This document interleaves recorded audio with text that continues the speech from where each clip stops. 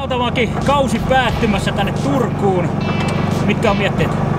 Ei, hyvät mietteet. Päästään taas, taas vetämään ja tiethän on hienoja, hienoja ja kovavauhtisia, mutta no, tämä ravirata nyt on tietenkin, tää on melkoinen, melkoinen pyöritys, mutta sama kaikille. Että pitkästä aikaa ajetaan taas pimeässä ja, ja, ja jännä nähdä mitä tulevan pitää. Metsämäen rauta ravirataa ja 50 automäärä.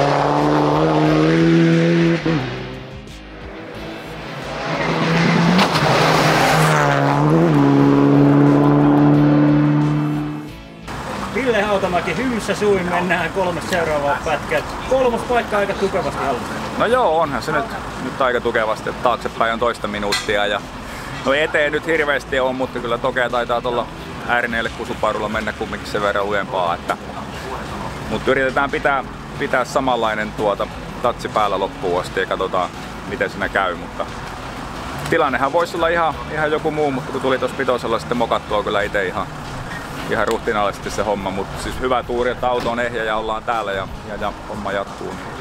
Katsotaan kolme pätkää ja ei ne mitään helppoja ole, miten käy.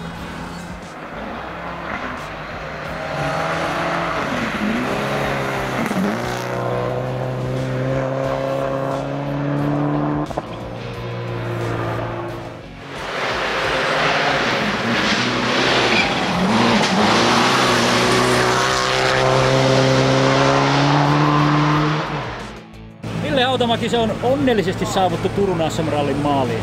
Mitkä päällimmäiset mietteet jäi koko kaudesta?